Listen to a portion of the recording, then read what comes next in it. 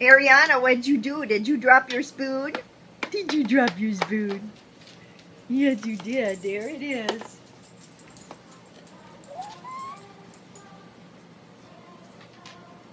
Hmm.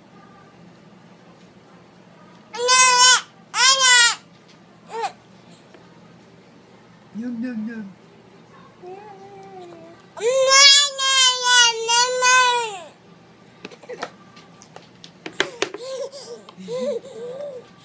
Hee.